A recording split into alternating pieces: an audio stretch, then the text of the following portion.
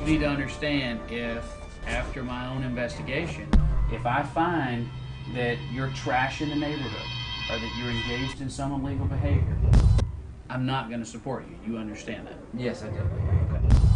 But I'm willing, I'm willing to be convinced that you need to be there, and I'm going to give you a fair hearing.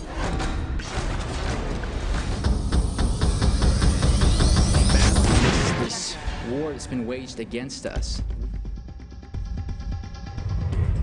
a studio that I hope to have my own children dance in someday. It's quite unfortunate that anyone would want to shut it down. It's bad. It's not representative government. And that's my point here.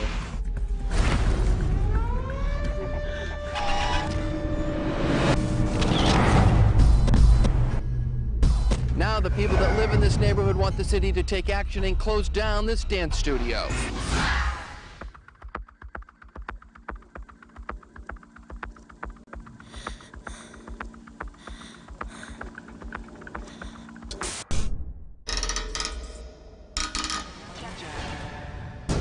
This place is, it's like my church. Ready? Five, six, seven, up,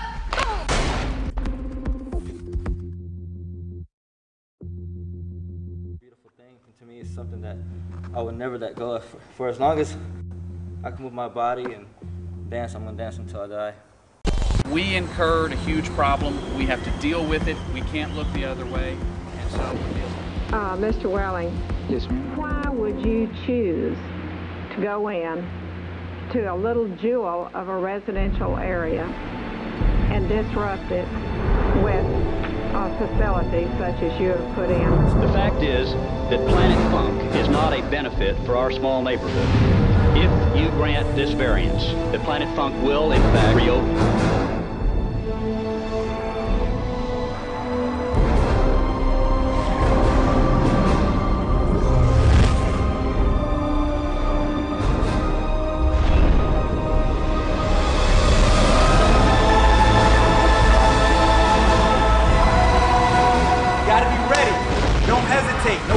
Procrastination. You want the job, you gotta show up, you gotta be in front, no playing the back. Get up there, be seen.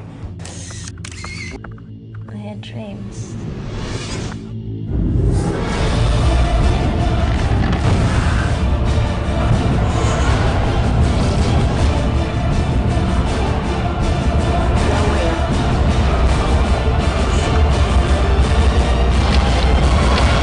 The message to the kids that are dancing in that studio?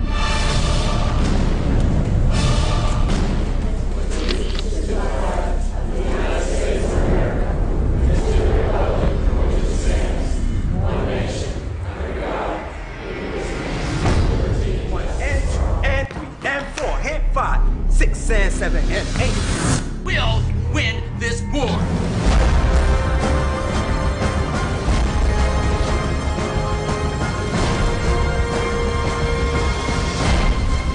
Forget that we are fighting for peace and for the welfare of mankind.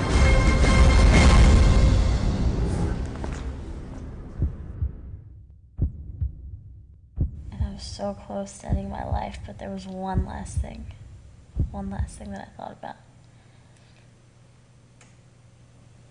And that was dancing.